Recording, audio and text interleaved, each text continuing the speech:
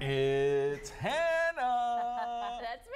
No, it's Tuesdays. You know what that means? We got a Hannah original coming That's up right. here. And I'm excited about this. Yeah, this one's really good. Okay, so an Arkansas produced documentary is highlighting the beauty of America's first national river, the Buffalo, and it's honoring its last 50 years. Let's take a look.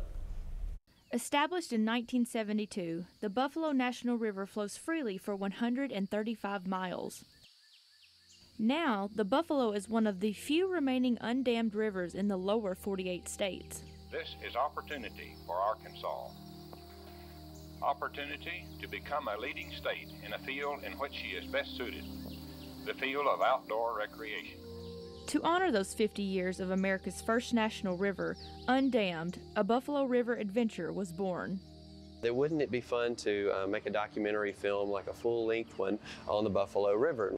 In this 50 minute documentary, Arkansas filmmaker and director Andrew McNeece with Bluffline Media follows adventurers along their journeys to help immerse viewers in the thrilling experiences the Buffalo has to offer. We immersed ourselves in the experiences uh, that we wouldn't normally be involved with.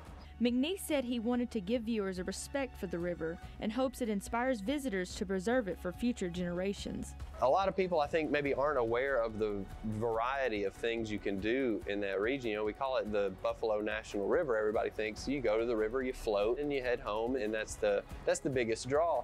But there's so much more going on. In this journey, you'll follow enthusiasts and athletes through the Buffalo for floating, backpacking, mountain biking, and more. The amount of talent that was involved and the amount of enthusiasm about the Buffalo, uh, people just love that area. And we were all discussing the river we love and, and having fun out there on our adventures. And it just, I think it comes through in the film. That's so cool. Dang.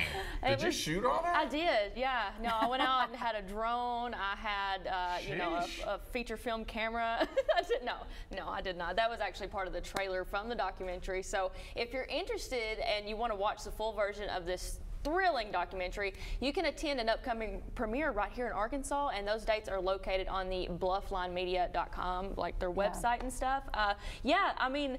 He said they went through some intense things while they were out there filming. A couple of their guys lost some GoPros on the Oh, river because wow. it rained, and That- you know, that river it, can- yeah, yeah, yeah, it was Uh, wild. being from Clinton, I mean, that's just up the road Yeah. from where I grew up. So going to the Buffalo River is just something that you do when you're from Yeah. Clinton. Spend a lot of time there and floated it. But yeah, it can.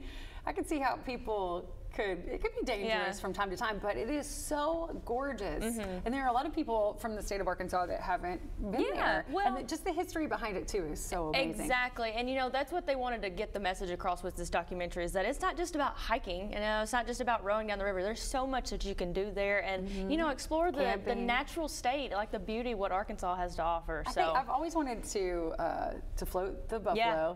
And then you can camp out like on the Oh, side man. and then float some more. I, I roast, that roast some be so cool. s'mores and you know start Yeah. a campfire. Nothing to yeah. it but just to do it. Just okay. to do it.